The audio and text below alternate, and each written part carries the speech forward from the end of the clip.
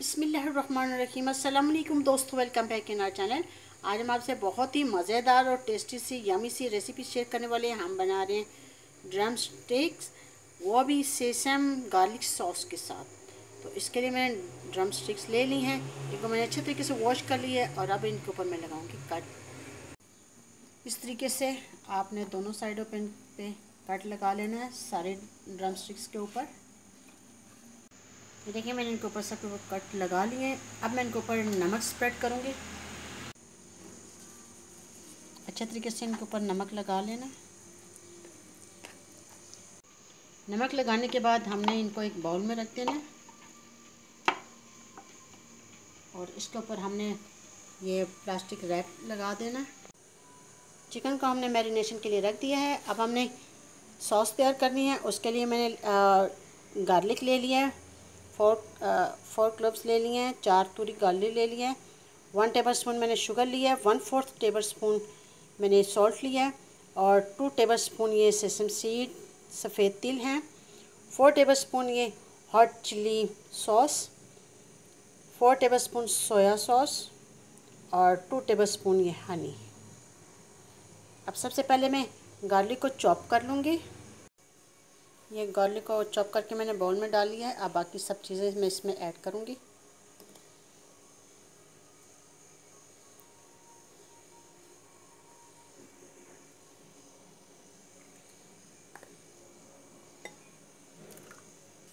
सब चीज़ों को ऐड करने के बाद अच्छे तरीके से इसको मिक्स करेंगे हम।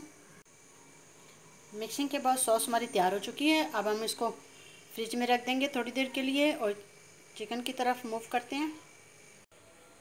चिकन का मैंने एक पैन में रखा है, इसमें मैंने थोड़ा सा कुकिंग ऑयल डाला है, तकरीबन टू थ्री टेबल स्पून मैंने कुकिंग ऑयल इसमें डाला है। अब मैं इसको फ्राई करूँगी। लो फ्लेम पे मैं इसको फ्राई करूँगी चिकन को। चिकन हमारा एक साइड से फ्राई हो चुका है। हमने इसकी साइड चेंज की है। दूसरी साइड से फ्राई करने के बाद हम नेक्स्ट स्टेप करेंगे। देखिए चिकन हमारा फ्राई हो चुका है और अब हमने इसमें को थोड़ा सा पानी डालना है। पानी डालने के बाद हमने इसको मिक्स करके और सिर्फ़ दो मिनट के लिए कवर लगा देना है। दो मिनट के बाद चिकन हमारा सॉफ्ट हो चुका है। अब हमने ये जो सॉस तैयार करके रखी थी, ये इसके अंदर डालनी है।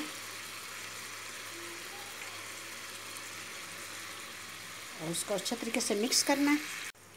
चिकन को अच्छे तरीके से मैंने सॉस के अंदर डिप कर दिया है।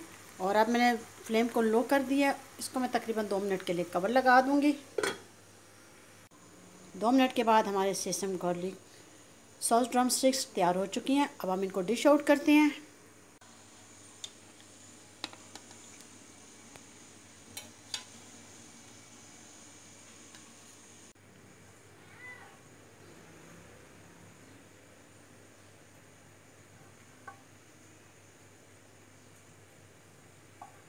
ये बहुत ही मज़ेदार चिकन तैयार हुआ है।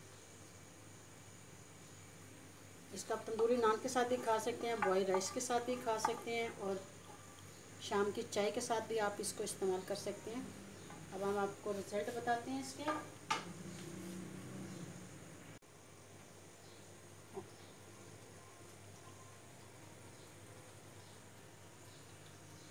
देखिए, दस मिनट के अंदर हमारा ज़बरदस्त सा चिकन तैयार हो चुका है।